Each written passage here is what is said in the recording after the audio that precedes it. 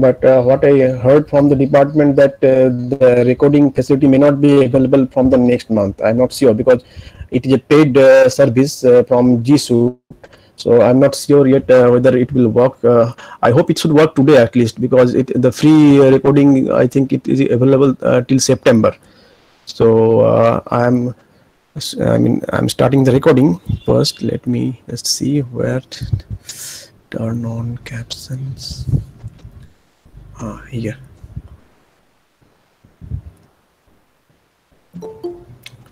Ah, wait.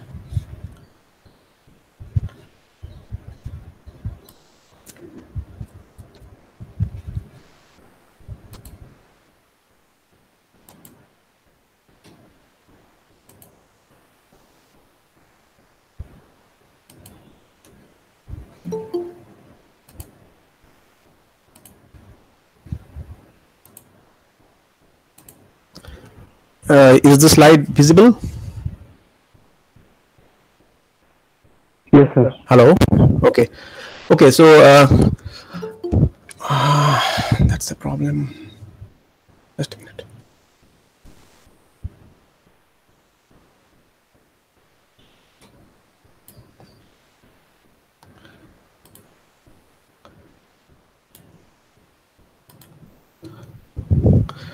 Okay, so I will not be able to, I mean, take any more uh, because uh, since we have started the recording, so uh, uh, that, that's why I request all of you to join at least within five minutes. Uh, uh, once the class starts, uh, we'll wait for three, four minutes or five minutes maximum.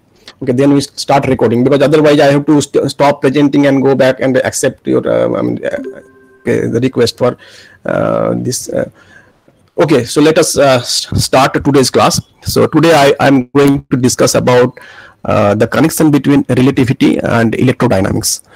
Uh, so uh, in the last few classes, I have uh, discussed about uh, the solution of Maxwell's equations, mainly uh, the plane wave solutions and the propagation of electromagnetic waves in uh, different uh, linear medium. No, that's the problem. You see, if I keep on accepting request, um, then I, I cannot rec- record. Like that will be embarrassing. I, if I stop uh, recording and then I have to start recording once again, uh, it's a, that's a problem. I request you at least. I mean, you should try uh, within uh, join, try to join within five minutes. Otherwise, it's a bit difficult.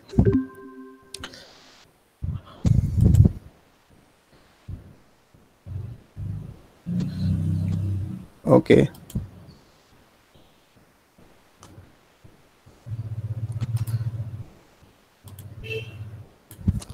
Okay.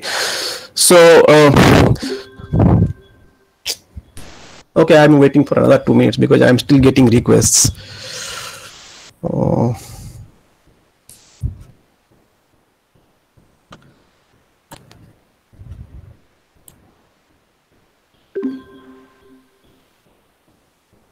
Okay, let me start now.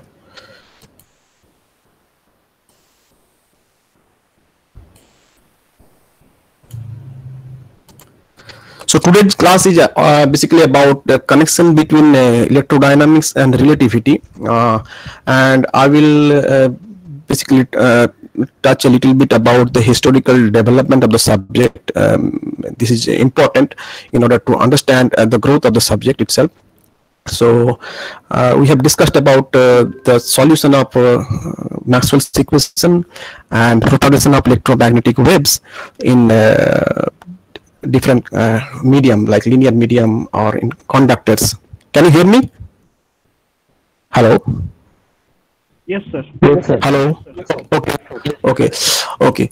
So. Uh, uh, because uh, journey of electro classical electrodynamics it started with uh, this maxwell's famous paper in 1865 which is uh, the, the the title of the paper was a dynamical theory of the electromagnetic field and uh, maxwell uh, submitted this paper uh, to royal society and according to the custom of uh, royal society at the time this paper was first read in the meeting of royal society and this paper was then independently reviewed by Lord Kelvin and Stokes uh, uh, before getting it published in uh, Royal Transactions of Royal Society.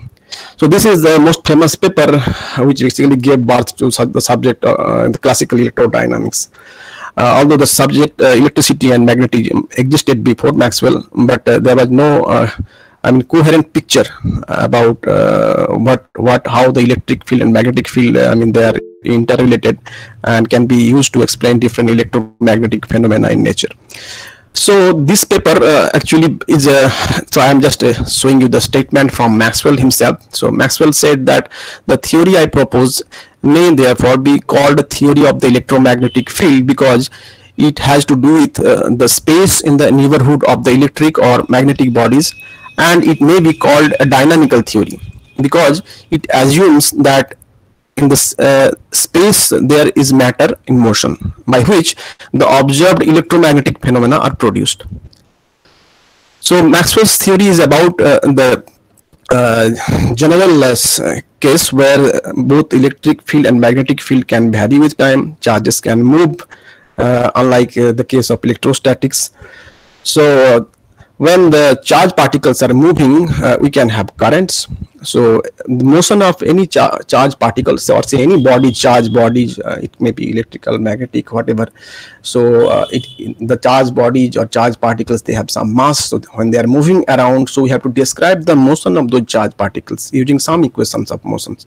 And uh, what uh, are the equation of motion of those charge particles? So Maxwell assumed that uh, the most of the charge particles are basically described by uh, Newton's law, Newton's law of motion, because Newton's law uh, or the, I mean, the it uh, basically ruled the uh, mechanics uh, for uh, two, around 200 years before Maxwell. So everything, all the mechanical phenomena like projectile motion or say uh, the planetary motion or the motion of any rigid bodies can be described very well by Newton's uh, laws. So Maxwell assumed that uh, Newton's laws should be used to describe the motion of charged particles in this case. And these are the uh, Maxwell's equations that we have already discussed. So Gauss's law in electrostatics and magnetostatics.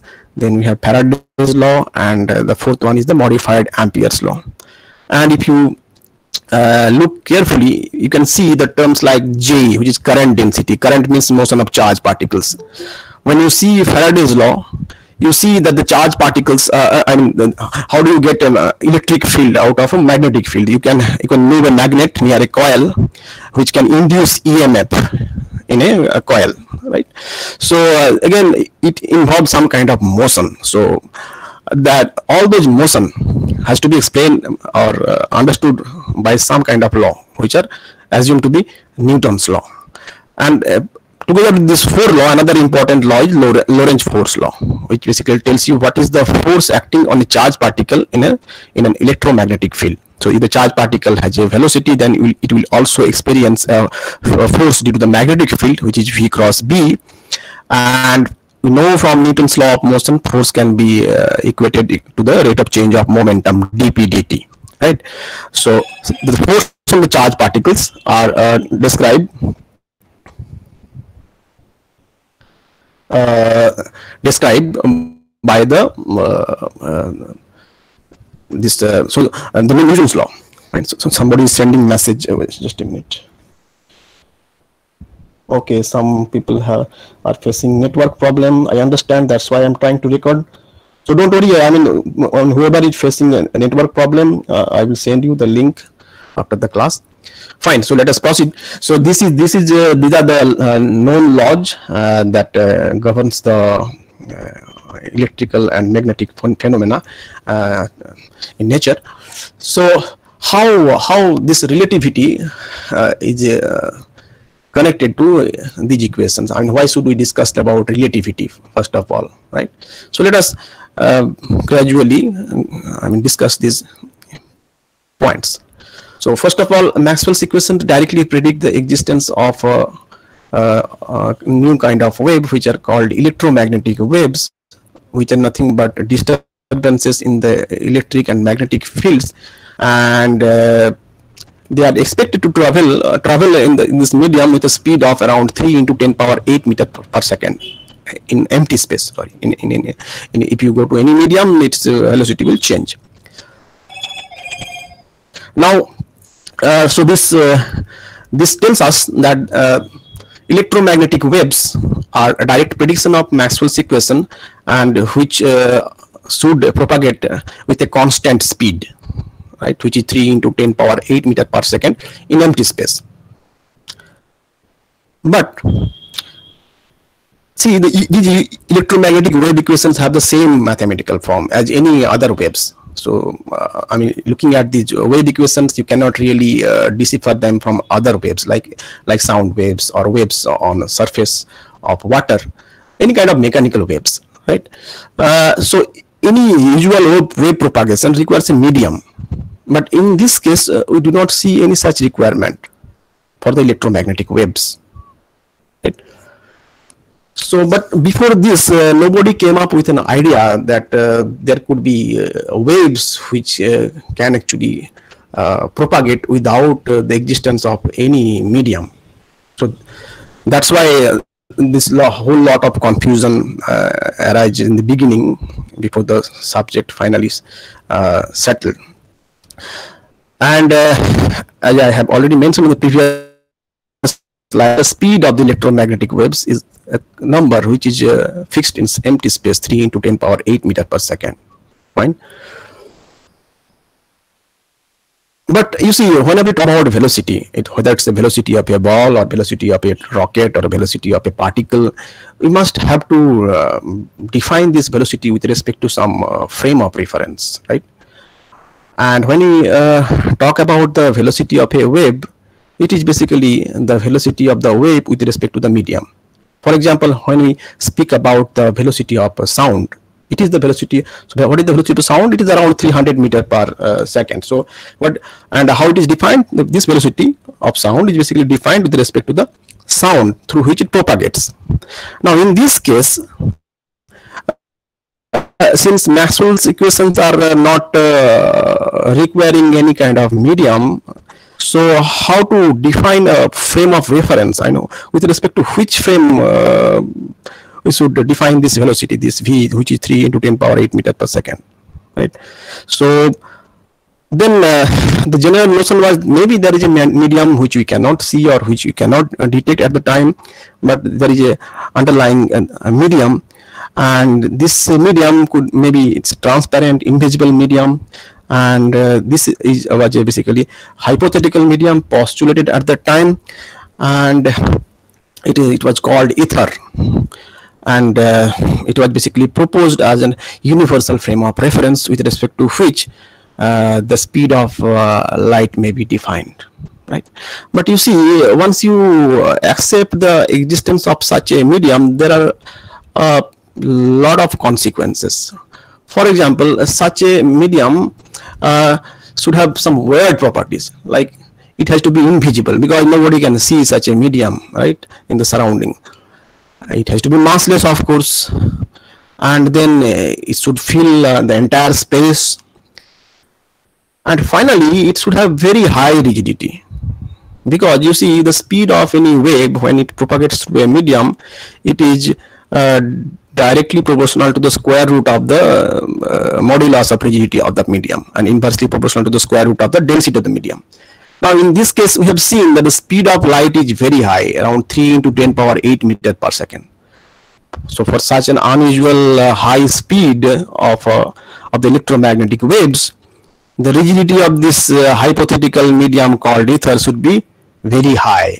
So now this looks quite weird. Cannot see its massless filling up the entire space and it should have very high rigidity. But anyway, I mean, uh, these are the uh, accepted notion at that time. And to test this, Albert A. Michelson and Edward W. Morley, they devised an experiment, famous experiment, uh, which possibly all of you know from your previous uh, courses, maybe in electricity magnetism or maybe in relativity. This is a famous experiment conducted by Michelson and Morley, uh, where this is a very simple apparatus. If you have uh, performed any experiment in your uh, BSc laboratory with Michelson interferometer, you already know about the setup. Basically, here you have uh, two uh, mirrors, mirror 1 and mirror 2, and light rays come from this side and incident on a semi-silvered plate where part of this light gets reflected and goes towards the mirror M1 and the other part gets transmitted through this uh, semi-silvered glass plate and uh, travels to, uh, towards the mirror M2. It comes back. So both ray, rays, after coming back, reflected uh, uh, back from the two mirrors, uh, they superpose here, and you can see the interference pattern using a telescope here. Now the distance of, the, of these two mirrors are equal. Say they are L, and suppose someone is conducting this this experiment in laboratory. So this is rest time right so the path lengths and this since they are same L and L, so travel time, you know, what, what should the travel time for the two rays and when they superpose, there should be a fringe pattern. And I'm not going to discuss about the details of Michelson interferometer because there are other things like uh, there is a two reflection. In one case, there is one reflection, so there will be some phase difference.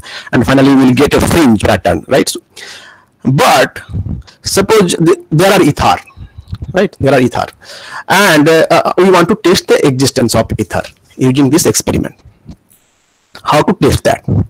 Now once you see the earth is moving through ether right? Earth, earth has its own rotational motion. It is rotating around uh, sun. Also it has a spin motion.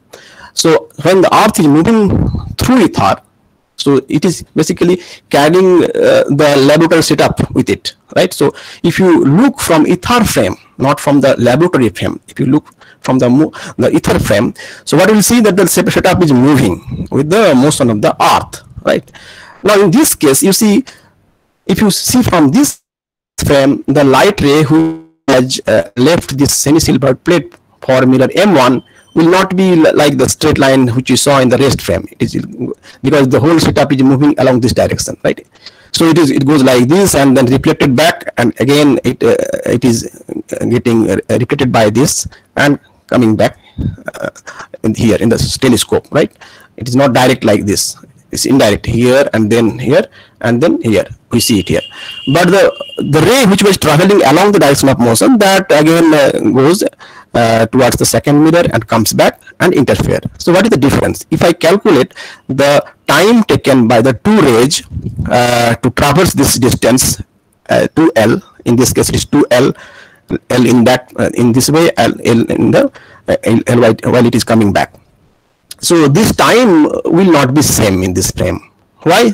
Because simply if we accept that the velocity of uh, light is defined with respect to the ether frame then you see in this case when when when the setup is moving through ether along this direction the velocity of light should be uh, i mean different in these two cases light moving which is moving along this direction uh, uh, along and the light which is moving along this direction. So that's why l is divided by c plus b uh, for the first case and L is divided by C minus B in the for the second case I mean the second the reflected ray. And uh, if you combine them together you get an expression like this which is straightforward to obtain. And in this case you have to just uh, use Pythagoras theorem because this if this is Vt half of this V is suppose the velocity T is the time so Vt this is half of Vt and you can calculate this uh, hypotenuse from this. You know the this distance this distance is L. So you can just uh, calculate divide that that, uh, that distance by C and uh, if you put a 2 then you get the uh, time required for this ray to uh, reach from the semi-silvered plate. uh, and uh, and and and it uh, and how much time it takes to come back from the first mirror right? That time can be calculated. And this time and this time this two time if there is a time difference between these two rays which are of course not present in the rest frame if there is a time difference then you expect a fringe shift. And how uh, much fringe shift you can uh, expect that you can calculate from this? It's straightforward. So you expect roughly uh, 0.3 or 0.4 uh, fringe shift in this experiment. Roughly 3% of the fringe should be shifted if there are ether and mm, the interestingly this Michelson-Morley setup was quite sensitive enough to detect such a fringe shift and when Michelson and Morley conducted this, this experiment in 1881, they found a null result. That is, there was no fringe shift in this experiment.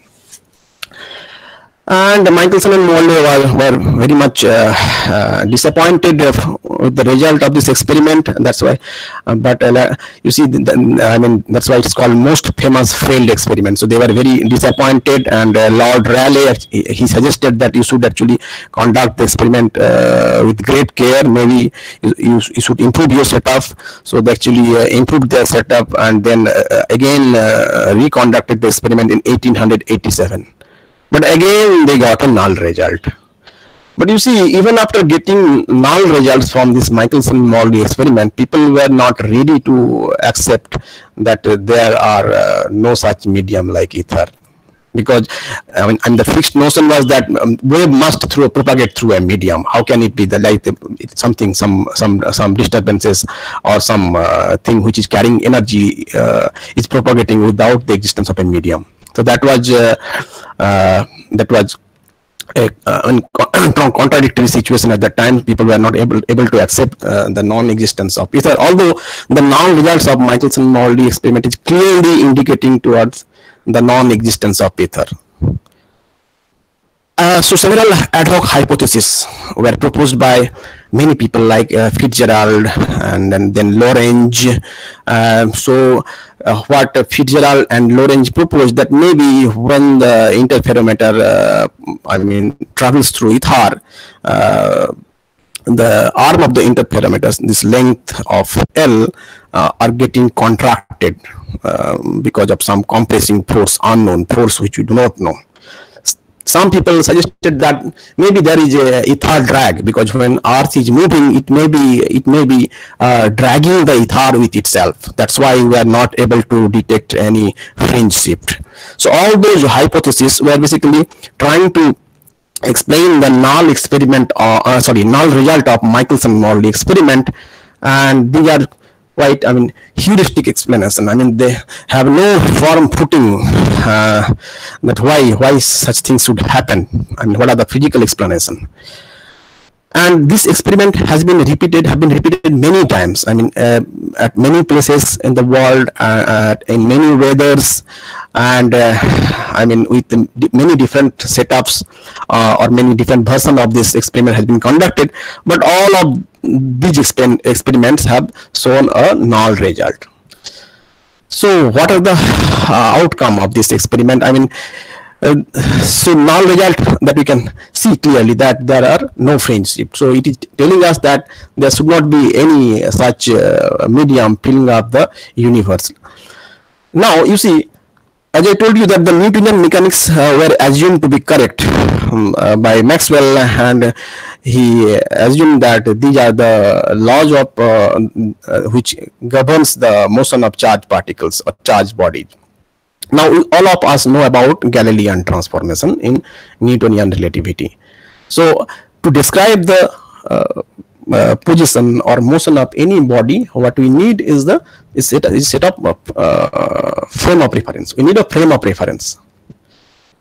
And uh, what is a frame of reference? I mean, you, you can choose different kind of frame of reference. Here I'm talking about inertial frame of reference. I mean, the uh, frames where law of inertia holds or the equals, uh, equal, I mean, Newton's law of motion holds. I'm not talking about uh, non-inertial frames. They are the inertial frames. So imagine uh, uh two such frames, uh, S and S prime. Uh, both were initially coincident. That I mean, the origins are at the same place. And suppose another, the prime frame suddenly starts moving with velocity v along the x direction. And so there are two observer in this two frame who wants to measure the say the the uh, um, location and time of a particular event. Say this is the event which they want to measure. So this is a, a, a prime frame. This is unprimed frame.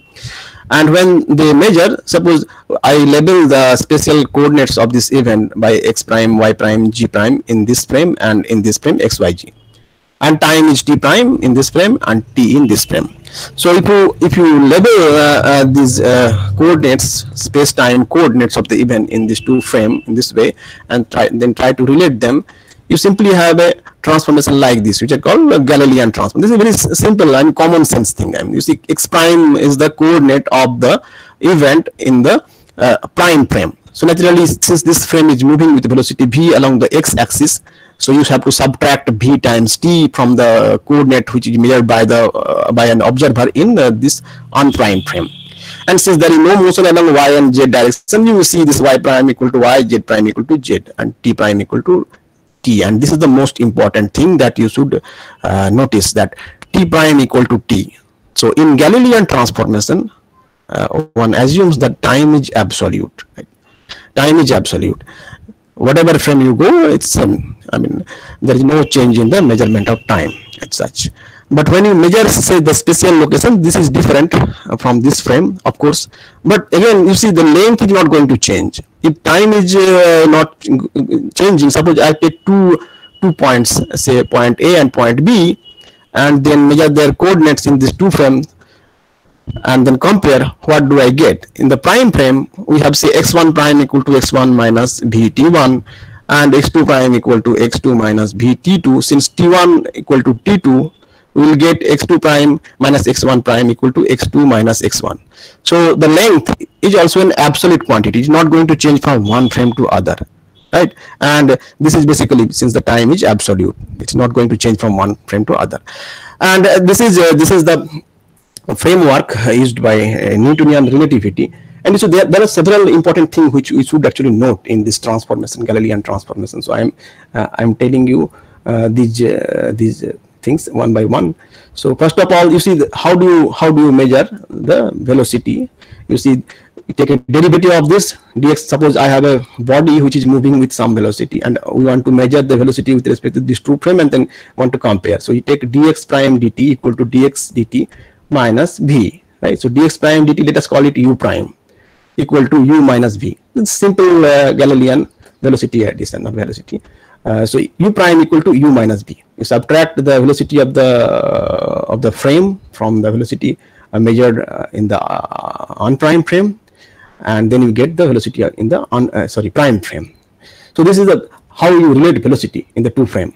What about acceleration you see if you take a derivative of this on the both side since velocity is a constant i should I, I also tell you i have also already mentioned that these are inertial frames so they are either in rest or moving with uniform velocity along some direction. So their velocity is constant here. V is not going to change with time. Uh, so here uh, the acceleration that i am talking about is the acceleration of some particle or some bodies which uh, which are measured by the two frames. So you see if i take a derivative on both side u prime take du prime dt is a prime and du dt is a v is constant that is 0 so that means acceleration remains same in both frames. And now you see if the accelerations are same and we know from newton's law that uh, force and acceleration are related by this f equal to mass time acceleration. So if acceleration is same the newton's law should hold in both the frames. Like no problem with that. So newton's law are same in both both the frame and also since uh, can be written as dp dt, rate of change of momentum, and time is absolute in this case, so co conservation of momentum should also hold in both the, in, in, the two frames, the prime and unprime frames. So these are the consequences of uh, Galilean transformation, and uh, if you if you accept these consequences, there are some contradictions that we will, we will come to discuss. Now, you see, unlike Newton's law, Maxwell's equations are not invariant under Galilean transformation. So I am not here showing you explicitly uh, um, by showing the calc because you, I, I, think you have done it in some previous course, uh, maybe in classical mechanics uh, last semester. So that's why I'm not repeating it. So you can easily show that the Maxwell's equations are not invariant uh, under this Galilean transformation. Now, what is the problem? If, if they are not invariant, that then it suggests that you can actually devise some kind of um, experiment uh, inside uh, a moving spaceship which can actually distinguish the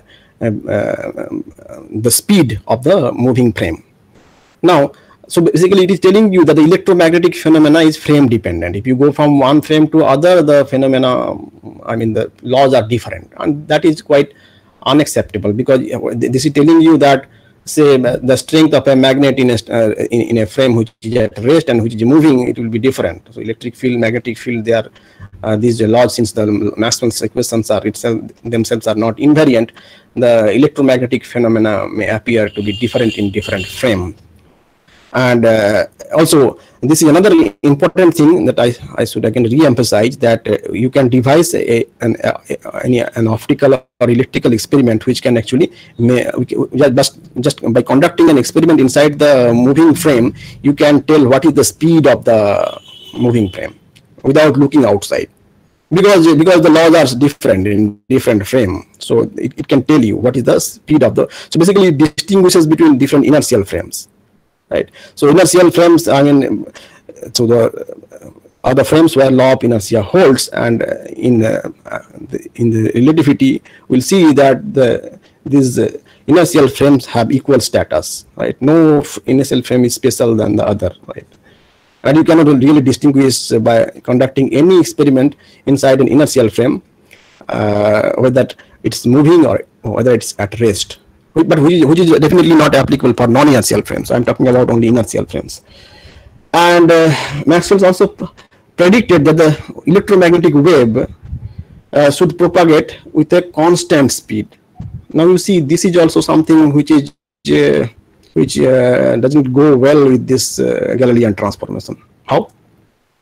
You see, uh, Galilean transformation tells you how the velocities in two frames are related, right? This one, u prime equal to u minus b. Now imagine uh, there is a, a, person who is uh, traveling in a train which is moving with uh, speed of say uniform speed of 100 kilometer per hour, right? And towards the north direction, and he is throwing a ball towards the north direction with the speed of 5 kilometer per hour someone who is sitting uh, uh, at the platform, he, if he tries to measure the speed of the ball, you see this is the moving frame, which is uh, say 100. Uh, uh, v is 100, it's moving, and the velocity uh, is 5 kilometer per hour, the speed of the ball thrown by the person in the train.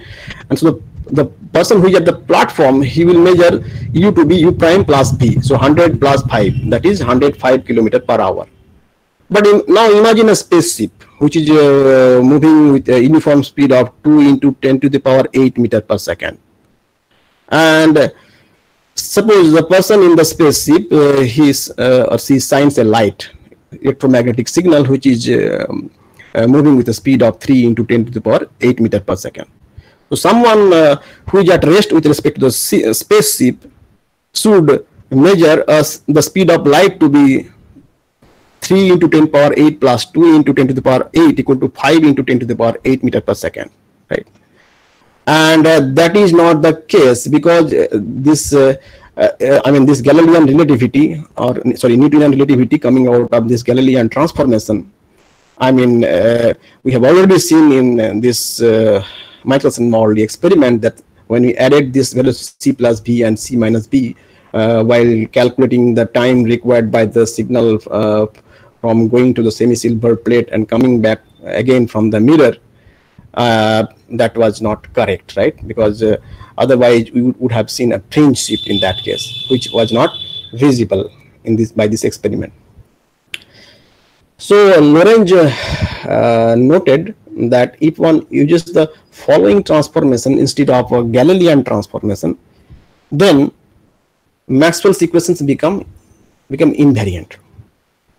So these are known as, as uh, Lorentz transformation. You probably know uh, uh, from your study of relativity. These are Lorentz transformations. But remember, these transformations were not derived initially. These were proposed uh, as uh, an empirical solution uh, to explain the null result of Michelson-Morley experiment. So these transformations were suggested by Lorentz and also supported by Fitzgerald who were a firm believer that maybe the length of the interferometer is getting contracted while moving through ether.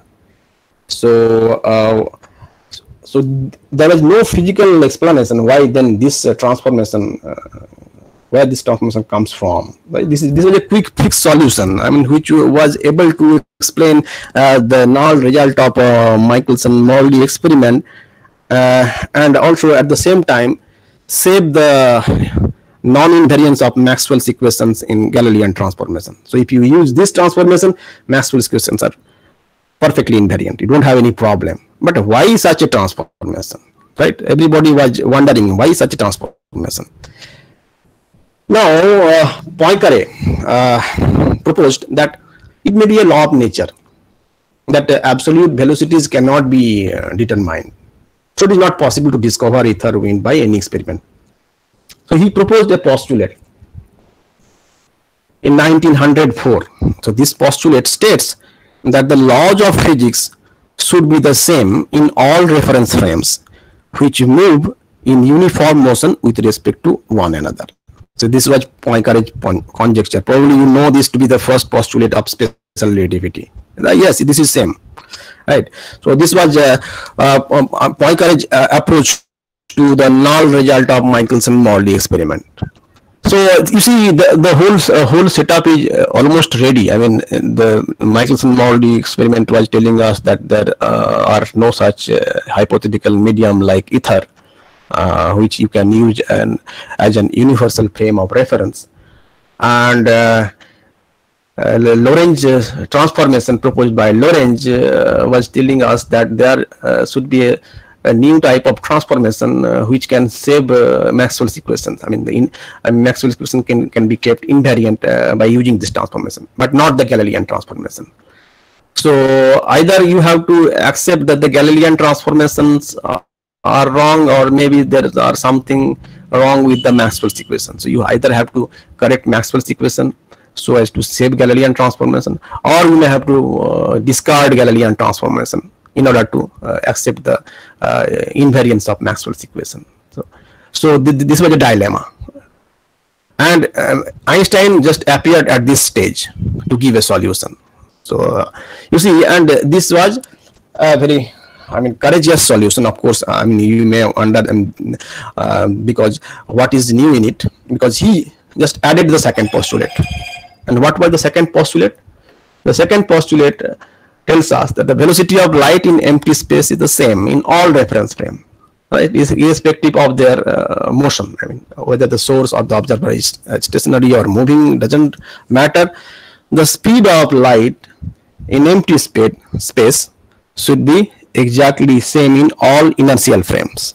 So this also tells you that uh, then then you cannot really uh, i mean distinguish between two inertial frames by uh, conducting any electrical or uh, optical experiments.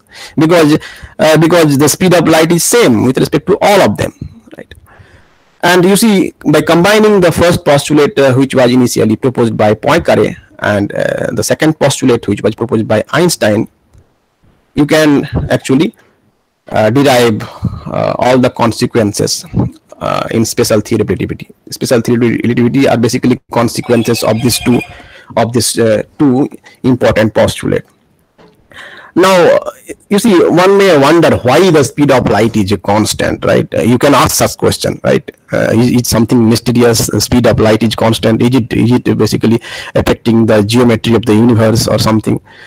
You see i mean uh, because we were using uh, some age old uh, fixed notion of space and time where we believed that the space and time must have to be absolute right?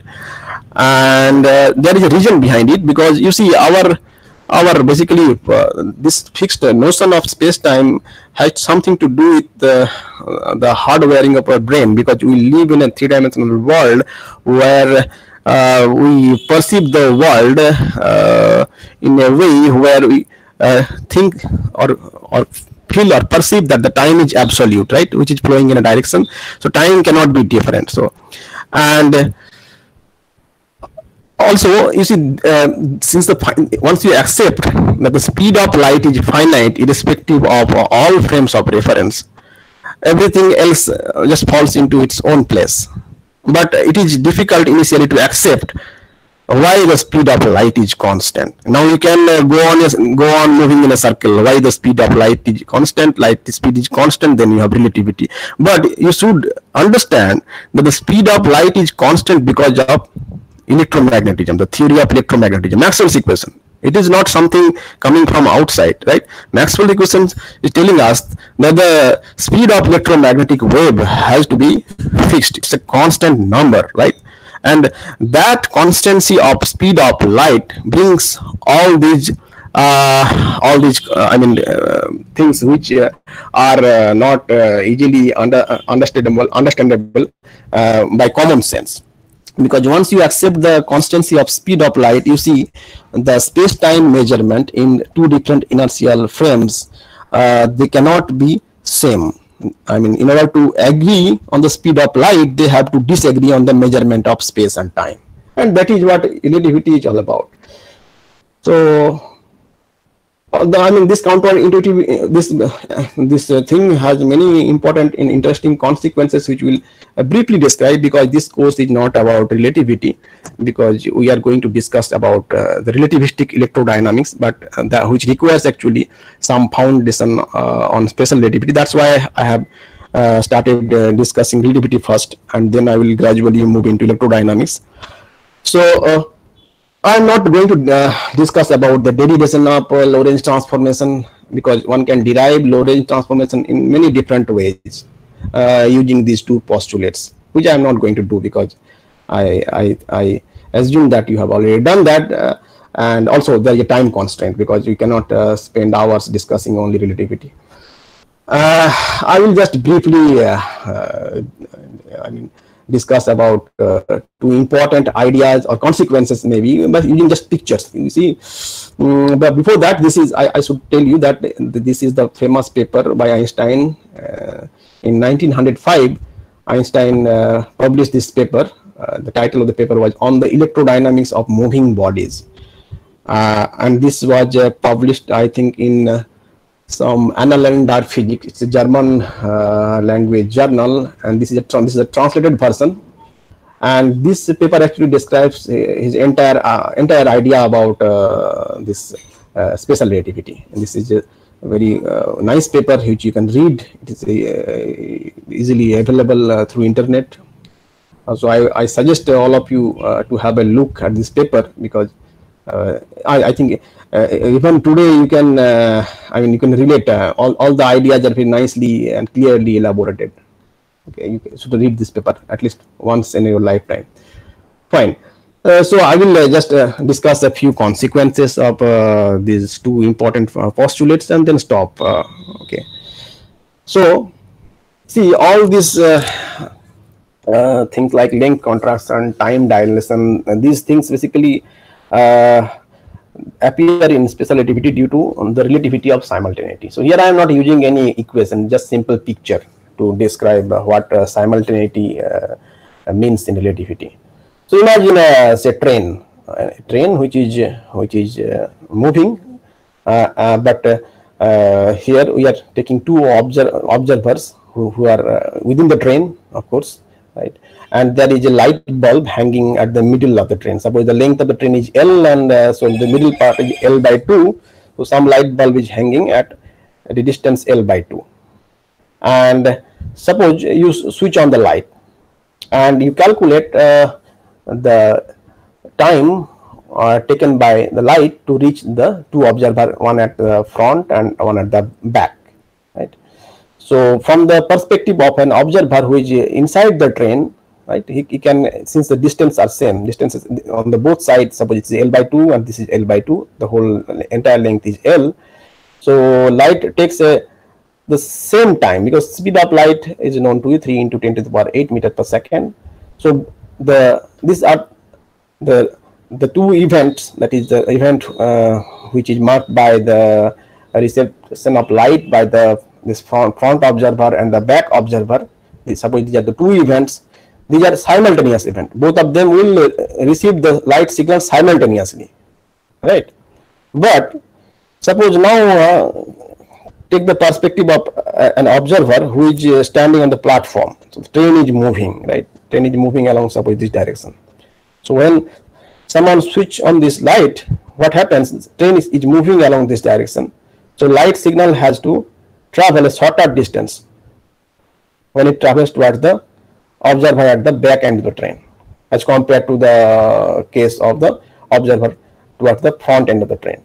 So naturally the light signal will reach the back end observer before it reaches the front end observer. That means the reception of the receipt of the light signal by the two observer are simultaneous in this frame where However, is these uh, two events are not simultaneous in this frame because light signal reaches first to the back observer and then it reaches the front observer for the person who is standing on the platform. You can again imagine another frame, suppose which is moving uh, with a higher speed and overtaking this train. For that uh, observer, this train is moving backwards.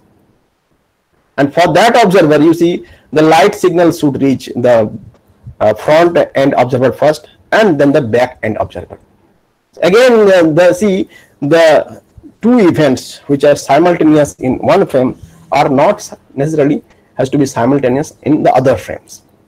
And this relativity of simultaneity leads to the phenomena of length contraction or time dilation. Because you see, when you talk about uh, length uh, of an object in a particular frame, so what you do is basically you uh, take the uh, readings of the two end of an object simultaneously at the same time and then uh, compare them in order to calculate the length. But how do you do that for a moving train?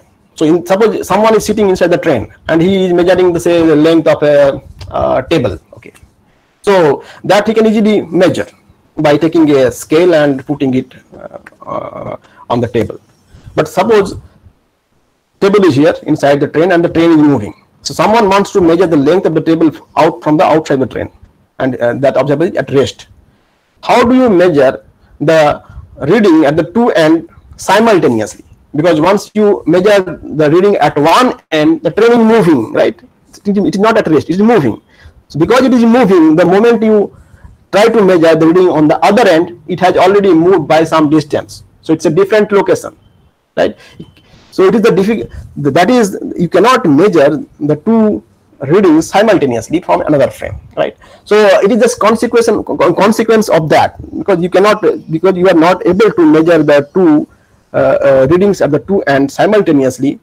That's why uh, you see things like length contraction or say time dilation time dilation can be easily understand uh, understood by this picture so again i am uh, showing you a picture of a train where a light bulb is hanging at a height h from the floor of the uh, train right? So uh, suppose uh, uh, so this light bulb is switched on. So light goes from the bulb to the floor. Suppose there is a mirror in the floor and it comes back. So if i ask you what is the time taken by light to go from the light bulb to the floor. You will simply say that h by c because c is the speed of light which is constant you know and someone who is sitting inside the train will measure the time to be h by c. Now someone who is standing outside the train uh, who is not co-moving with the train uh, someone uh, suppose a frame which is at a rest uh, at a rest with respect to the train. So if uh, he or she tries to measure the time that time will not be same simply because you see train is moving so i have shown you the picture here so this dotted line was the initial position this solid line is, is the position after time delta t. So by the time delta t the train has moved uh, through a distance of v delta t right? So this mirror which you have uh, placed here has moved through a distance of v delta t. So light signal which started here will reach the mirror after time delta t at this place not at this place because the train is moving right? So here. And uh, you can usually calculate this distance d by using Pythagoras theorem. Again, d is nothing but square root of h square plus v square delta t square. So if, so, if, if someone calculate the time taken by the light signal to reach from this bulb to the floor, he will or she will calculate it is to be square root of h square plus v square delta t square divided by 2, right? And definitely you can see this d is greater than h, right? So there is time dilation. Dilation means expansion. So time slows down. That means, see, the entire uh, this confusion arises because of our fixed notion of space-time. Because what happens actually is basically the size of your grid changes. You are measuring time and length using some scale or some clock, right? So you define your second tick tick. So in between you call it second, but this the, the this tick between this time span between two ticks or uh, say what you call some some some length as centimeter right so this unit of space and time they actually changes. We will discuss it in greater detail. So because today I have just uh, give, given you a brief overview. This is not a detailed discussion at all. The, so the I mean the the scale that you are using to measure uh, space and time that itself change when you go from one inertial frame to other and that leads to, uh, to phenomena such as length contraction or time dilation right? So uh, uh, again uh, i mean since uh, today is the first class uh, on relativistic electrodynamics so i am not directly jumping into relativistic equation maxwell's equations and so on. So let us go slowly in the beginning. So this is basically about length contraction and time dilation, which are consequences of the two postulates of special theory of relativity. And uh, we, we shall formulate uh, uh, the Maxwell's equations, Maxwell's equations in the light of uh, relativity. That means we have to rewrite the Maxwell's equation in uh, in four-dimensional space-time because uh, in relativity, space and time are not separate entity uh, they form a four-dimensional space-time continuum where all the laws has to be uh, rewritten or reformulated and you can easily show that uh, those equations will be invariant under uh, Lorentz transformation. So I am stopping here uh, with a cartoon which uh, shows you what is length contraction and time dilation is all about. So I have not discussed anything about electrodynamics at all in this class. So uh, the entire discussion is about only uh, relativity, basics of relativity. If I'm, I'm stopping here, if you have any question, please ask.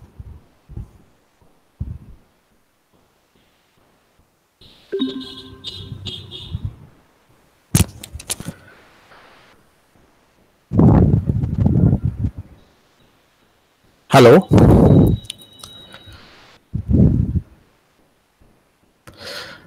তোমরা কি শুনতে পাচ্ছ আমাকে hello হ্যাঁ বলো time ডাইলেশনের ব্যাপার হ্যাঁ হ্যাঁ হ্যাঁ হ্যাঁ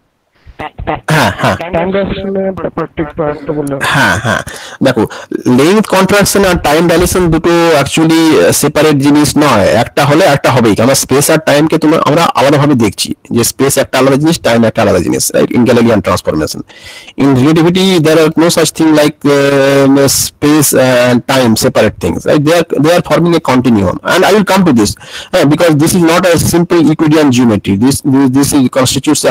geometry এবং এই হাইপারমেট্রিক হাইপারবোলিক যে যে জিওমেট্রিক্যাল স্পেস টাইমে যেটা হচ্ছে, তুমি যখন, তাহলে আমি আবার বলছি, আমি সিম্পল সহজ ভাষায় বলি যে, দেখো length contraction and time dilation মানে অ্যারাইজ করার কারণটা কি? তার মানে তুমি যে কোনো দুটো ইভেন্টকে যখন তুমি মেজার করছ দুটো ফ্রেম থেকে, তার মানে তুমি চারটে নাম্বার অ্যাটাচ করছ একটা ইভেন্টের সঙ্গে এক্স ওয়াই জেড এবং টাইম এবং এই চারটে নাম্বার দিয়ে তুমি লেন্থ বা টাইম লেন্থ যখন ক্যালকুলেট করছ, তুমি সিম্পলি কি করো? যে X two minus X one তার মানে তার square Y two minus Y one square Z two minus Z one square তার স্কোয়ার রুট না ওটা তুমি লেন্থ বলো।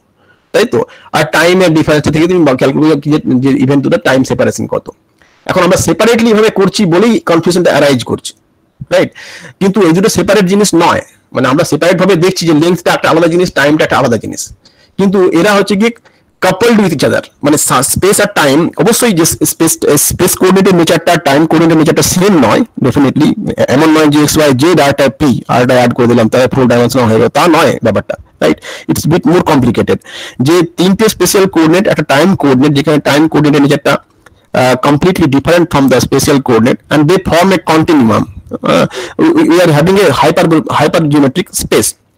এখন লেন্থ কন্ট্রাকশন যেটা তোমাকে আগে বললাম, যে তুমি একই সময়ে মাপতে পারছ না, তুমি যখন, আমি বললাম যে তোমাকে একটা কোনো অবজেক্টের লেন্থ মাপতে হবে, তুমি যখন দুটো এন্ডের রিডিং সাইমালটেনিয়াসলি নিতে পারবে, তখন তুমি বিয়োগ করলেই পেয়ে যাবে যে লেন্থটা কত। আর এখন দেখো ব্যাপারটা কি হচ্ছে যে লেন্থ কন্ট্রাকশন আর টাইম ডাইলেশন দুটো জিনিস কিন্তু ইন্টাররিলেটেড একটা আরেকটার সঙ্গে ইন্ডিপেন্ডেন্ট নয়, একটা হচ্ছে বলেই আরেকটা হচ্ছে। রাইট সুতরাং লেন্থ মাপ না লেন্থের যে তফাৎটা আসছে সেটা পিওরলি আসছে যে তুমি সাইমালটেনিয়াসলি একই সঙ্গে দুটো মেজারমেন্ট করতে পারবে না একটা দুটো আলাদা ফ্রেমে একটা ফ্রেম মুভ করছে একটা ফ্রেম রেস্টে আছে। রেস্ট ফ্রেমে সবসময় তুমি মাপতে পারবে। তুমি যে ফ্রেমে আছো সেই ফ্রেমে যদি কোনো একটা অবজেক্টের লেন্থ মাপো যেটাকে আমরা বলি কি বলি সেটাকে? মানে রেস্ট রেস্ট এটা একটা নাম আছে একটা নামটা আমার এই মুহূর্তে মনে আসছে না। রেস্ট ফ্রেমে যে লিঙ্কটা বলা হয় কি বলে কি বলে proper length proper length Proper length. Proper length proper length right proper length হ্যাঁ হ্যাঁ প্রপার লিঙ্ক তো প্রপার লিঙ্ক আর প্রপার টাইম দুটো তুমি যখন যে ফ্রেমে তুমি আছো, সেই ফ্রেমে মাপছো, তখন সেটা মাপা যায়। কিন্তু যখন অন্য ফ্রেমে যাচ্ছ, সেখান থেকে যখন তুমি মাপার চেষ্টা করছ লেন্থটা বা টাইমটা দুটো কানেক্টেড টাইম ডাইলেশন আর লেন্থ কন্ট্রাকশন দুটো সেপারেট জিনিস নয়।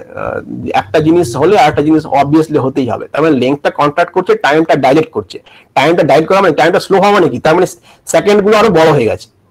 তাই না? সেকেন্ডগুলো তাহলে তুমি যেটাকে তুমি, আমার যদি, আমার ফ্রেমে যদি টু পয়েন্ট ফাইভ সেকেন্ডটা তোমার এক সেকেন্ড হয়, তাহলে আমি টাইম মাপার চেষ্টা করি, আমি কি, আমি সেটা টাইমটাকে স্লো দেখব? রাইট অ্যান্ড আমি এটা ডিটেলসে আসব রাইট এত সংক্ষেপে বলা যেতে পারে না এটা আমি মানে আমার কাছে যেহেতু এখানে সরাসরি ব্ল্যাকবোর্ড বা কোনো ডায়াগ্রাম সরাসরি লেখার কোনো স্কোপ নেই verbally maybe I am not I mean explaining able to explain all the things আমি গ্র্যাজুয়ালি আস্তে আস্তে জিনিসটার মধ্যে আসব। তুমি যেটা বলেছ যে টাইম ডাইলেশন এখন জাস্ট যেটা রাখো যে যে স্পেস মানে লেন্থ কন্ট্রাকশন আর টাইম ডাইলেশন দুটোই হচ্ছে কানেক্টেড ফেনোমেনা আর স্যার আরেকটা কোশ্চেন ছিল যেটা আমরা যখন সিগন্যাল তো সিগন্যালের স্পিডটা তো সেটা সব জায়গায় সমান হবে। তো এবার যখন আমি একটা ফ্রেমে যখন টাইমটা মাপবো কোনো একটা ইভেন্টের তখন আহ, তখন সেই সিগন্যালটা আসতে যখন আমার কাছে আসবে কারণ আমি এক্স দূরে মাপছি তো তখন সেটা আসতে টাইমটা ল্যাপস করে যাবে। তো এটা আমি কীভাবে মানে একটা একটা ফ্রেমে আমি সেম টাইম পাবো এই ব্যাপারটা একটু মানে হ্যাঁ, বুঝতে পারছি। সিঙ্ক্রোনাইজ একটা ইন্টারেস্টিং ইম্পর্টেন্ট প্রবলেম ও যেটা বলছে যে কি করে সিঙ্ক্রোনাইজ করা যায় দুটো জিনিসকে তাই তো? টাইমটা কি এখন তুমি ইমাজিন করতে পারো ধরো ধরো একটা ইনফাইনাইট গ্রিড আছে। ইনফাইনাইট ইমাজিন করাটা তুমি। জাস্ট আমি ইমাজিনেশন দিব ধরো গোটা ইউনিভার্স জুড়ে একটা ইনফাইনাইট গ্রিড আছে। প্রত্যেকটা গ্রিড পয়েন্টের কর্নারে একটা করে ক্লক লাগানো আছে।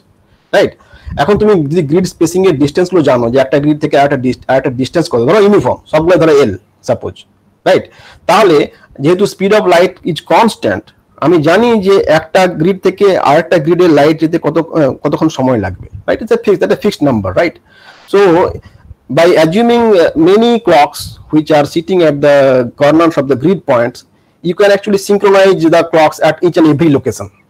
Because the speed of light is constant তুমি যদি জানো যে ডেল্টা টি সময়ে লাইট এত দূরে যায় এল ডিস্টেন্স যেতে পারো এল বাই সি লাগবে distance delta theta C L by C তাহলে একটা জায়গায় আমি বলি যখন দশটা পাঁচ বাজে রাইট তাহলে সেই সেইটাকে আমি রি অ্যাডজাস্ট করে দিতে পারব প্রত্যেকটা গ্রিড পয়েন্টে because the distance to that particular grid point is known of course তুমি যেটা বলছো যে সময়টা ইকুয়াল হবে না তো যে যে গ্রিড পয়েন্টটা দূরে বসে আছে যে গ্রিড পয়েন্টটা কাছে বসে আছে দুটোর মধ্যে সেপারেশন আলাদা হতে পারে। তাহলে সিগন্যালটা আলাদা সময় পৌঁছাবে।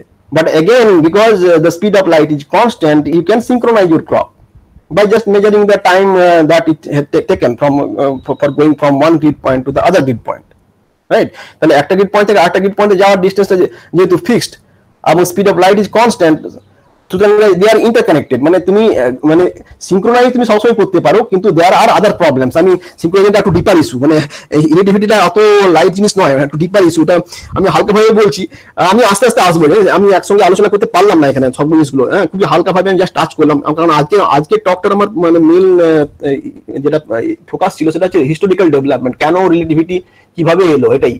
I have not discussed about relativity much right সেটা আমরা পরের ক্লাস থেকে শুরু করব।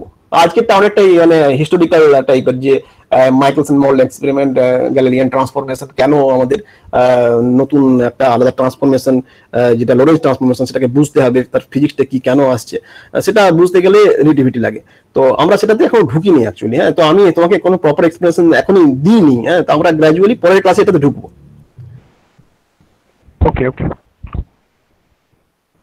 any other question হ্যাঁ স্যার একটা কোশ্চেন আছে ম্যাক্সওয়েল ইকুয়েশন নিয়ে হ্যাঁ সেটা হলো যে আমরা প্রিভিয়াস কয়েকটা ক্লাসে আমরা ইয়ে আলোচনা করেছি যে ম্যাক্সওয়েল ইকুয়েশন থেকে লাইটের রিফ্লেকশন রিফ্র্যাকশন এগুলো হ্যাঁ। প্রমাণ করেছি হ্যাঁ এবার আচ্ছা। আমরা অপটিক্সে সেই হ্যাঁ। ফার্ম্যাট প্রিন্সিপাল থেকে অপটিক্যাল পাথের এক্সট্রিমাইজেশন করেও সেই সেম জিনিসে আসতে পারি হ্যাঁ আবার হ্যাঁ।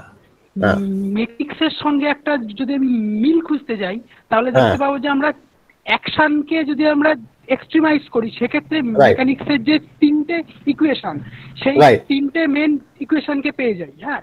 তো আমার প্রশ্ন হলো যে ম্যাক্সওয়েল ইকুয়েশনের পিছনে কি সেরকম কোনো কোয়ান্টিটি আছে যে যেটার এক্সট্রিমাইজেশনের ফলে আমরা মানে সেই জায়গাতে অ্যারাইভ করতে পারি? দেখো অ্যাকশন জিনিসটা মানে তুমি ইলেকট্রোম্যাগনেটিক ফিল্ডের ক্ষেত্রেও ডিফাইন করতে পারো। এবং যেটা তুমি বলছো যে ওই এক্সট্রিমাইজেশন অফ অ্যাকশন সেটা তোমার সব জায়গাতেই হোল্ড করে, এটা ইউনিভার্সাল প্রিন্সিপাল কিন্তু এইখানে আমরা, তুমি যেটা বলছো যে ফার্মাট প্রিন্সিপাল বা অন্যান্য প্রিন্সিপাল যেগুলো তুমি বললে, বা অ্যাকশনের অ্যাঙ্গেল যে অ্যাঙ্গেলটা নিয়ে বললে যে এভাবে ম্যাক্সওয়েল সিকুয়েশনকে আনা যায় কিনা।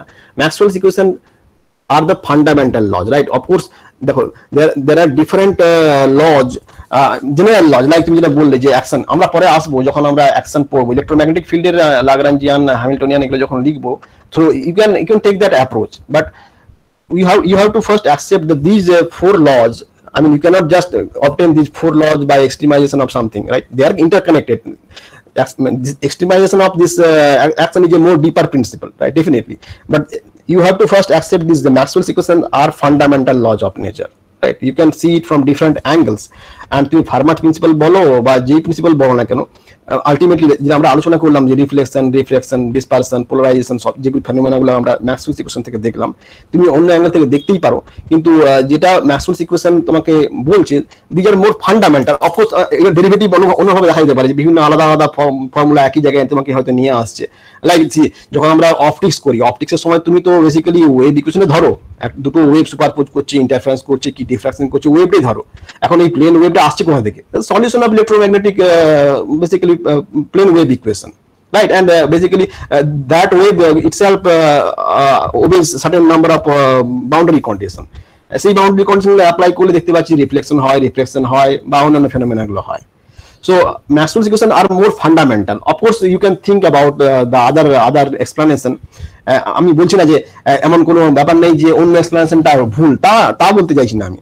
Maxwell's equation are fundamental you have to accept it first হ্যাঁ ঠিক আছে।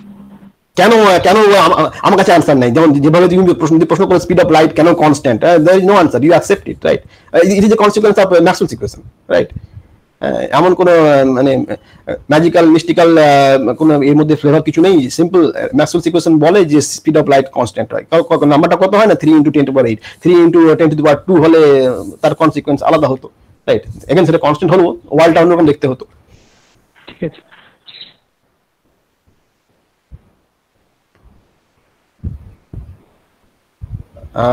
আর কিছু কোশ্চেন স্যার আইনস্টাইন কি ম্যাক্সওয়েল ইকুয়েশনে কনসিকোয়েন্সটা কি ব্যবহার করেছিলেন? আইনস্টাইন দেখো আইনস্টাইনের যেটা একটা ডিবেট আছে যে আইনস্টাইন আদৌ মাইক্রোসন মহলি এক্সপেরিমেন্টের নাল রেজাল্ট নিয়ে খুব একটা কিছু জানতেন কিনা রাইট কিন্তু আমার ধারণা হয়তো জানতেন, কারণ যখন আইনস্টাইন রিলেটিভিটি প্রপোজ করেন, তখন উনি বার্নের একটা পেটেন্ট অফিসে ক্লার্ক রাইট কোন রকম একাডেমিক কোনো পজিশন ছিল না ওনার রাইট কিন্তু he was deeply interested in physics and he was working himself এখন এই ওনার যেটা মেন ফোকাস ছিল, তুমি এটা বললে হ্যাঁ যে Galilean transformation Maxwell Maxwell equation উনি খুব ভালোভাবে জানতেন, বুঝতেন এবং সেটাকে, এটাও জানতেন যে গ্যালিলিয়ান ট্রান্সফরমেশন এটাকে মানে এটাকে ইনভেরিয়েন্সটা ধরে রাখতে পারে না। গ্যালিলিয়ান ট্রান্সফরমেশন করলে তোমার ম্যাক্সওয়েল ইকুয়েশন ইনভেরিয়েন্ট থাকবে না।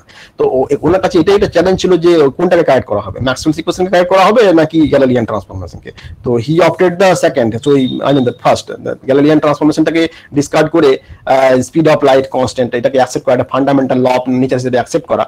সেটা তোমার কাছে আমার কাছে মনে হতে পারে এটা খুব ট্রিভিয়াল ব্যাপার স্পিড অফ লাইট কনস্ট্যান্ট কিন্তু তা নয়। কারণ ওটা ওটা ওটা অ্যাকসেপ্ট করা মানেই কিন্তু স্পেস টাইমের যে নোশনটা পুরোপুরি ড্রাস্টিক্যালি চেঞ্জ করে যাচ্ছে। তুমি আর অ্যাকসেপ্ট করছ না যে space time is absolute right they they are not something fixed which can change এবং এইটা জিনিসটা অ্যাকসেপ্ট করাটা খুব সহজ কাজ ছিল না। যে স্পেস আলাদা হতে পারে টাইম আলাদা হতে পারে।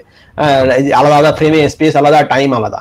Which was actually quite ridiculous তো ইনিশিয়াল ইয়ার্সে কিন্তু খুব একটা প্রথম কয়েক বছর অ্যাটলিস্ট খুব একটা ভালো মানে কিছু ইনপুট ছিল না রিলেটিভিটির ফেভারে কিন্তু যখন বারবার উনিশশো সাতে মনে হয় সম্ভবত মাইকেলসন মহলি নোবেল পান নোবেল প্রাইজ পান eighteen hundred eighty one eighteen hundred eighty seven দুবার ওনারা এক্সপেরিমেন্টটা কন্ডাক্ট করেন, যেখানে নাল রেজাল্ট ছিল নাইনটিন হান্ড্রেড ফাইভে আইনস্টাইন প্রপোজ করেন, কিন্তু প্রথম দু হাজার পাঁচ ছয় মনে হয় সেরকম একটা কিছু প্রথমটা সেভাবে অ্যাকসেপ্টেড ছিল না, কিন্তু যখন এটা মানে ওয়াইডার কমিউনিটি যখন অ্যাকসেপ্টেড হয়ে গেল যে null result of Michelson Morley experiment তার জন্য নোবেল প্রাইজ দেওয়া হলো মাইকেলসনকে তারপর ব্যাপারটা ওয়াইডলি অ্যাকসেপ্টেড হলো যে না, ইথার বলে কিছু নেই। আর ইথার যদি বলে কিছু না থাকে, তাহলে স্পিড অফ লাইটটা কার রেসপেক্টে তখনই যেটা অ্যাকসেপ্ট করে তাহলে স্পিড অফ লাইট যদি কারোর রেসপেক্টে কোনো ইউনিভার্সাল ফ্রেম অফ রেফারেন্স না থাকে, তাহলে it has to be constant according to Maxwell's equation আর যার কনসিকোয়েন্স হচ্ছে রিলেটিভিটি তুমি দুটো পস্টুলেট নিয়ে নিলে বাদ বাকিটা পুরো জাস্ট অ্যালজেব্রিক ক্যালকুলেশন এটা হলে এই হবে রাইট তো পুরো রিলেটিভিটিটাই তার তার কনসিকোয়েন্স জাস্ট লাইক ইলেকট্রো ডাইনামিক্সটা হচ্ছে consequence of those four Maxwell's equation right So Einstein was quite well aware of uh, this uh, non-invariance of Maxwell's equation in Galilean transformation. Okay sir Okay. আর কারও কোনো প্রশ্ন